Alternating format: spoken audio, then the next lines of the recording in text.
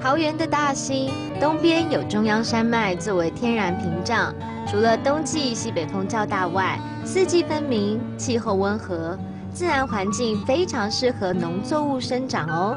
今天就要带大家去一间特别的农场，在那里自己想吃的菜可以自己摘采哟。像我这么注重养生的人，要来体验看看美食是怎么从农场到餐桌的。哇！开口开口！我来到两间农场，怎么没有看到菜？就会全部看到鱼的嘞？你是俺农场地保员工啊，用用自己的培水啊来种菜。而且如果我没有认错的话，这个鱼是鲟龙鱼，对不对？对，非常富含营养价值，要高经济价值。真的。对呀。所以你一百亩海就做在孤豆两片。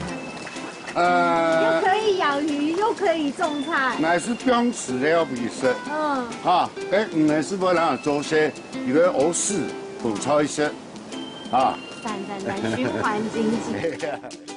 这座农场借由鱼菜共生的生态循环方式，不需使用农药，就能培育出让大家吃的健康、吃的安心的农产品哦。哇，太哥，农场地都有当道菜耶！耶啊，你看，那些菜有绿绿色的、红色的哈，里面那个这个是当归煎蛋。当归叶煎蛋，当归鸭，好，来去来去，好多了一样。在这里，一年四季都会选择适合的蔬菜种植，不论你哪个季节来，都能采到最新鲜的蔬菜哦。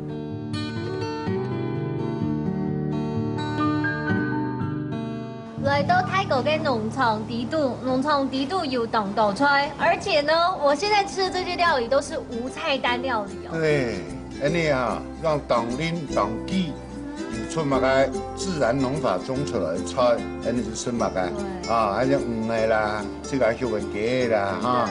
小朋友来到这边的时候，哎，认识菜怎么种的，鱼怎么养的，而且可以马上吃到最新鲜的料理。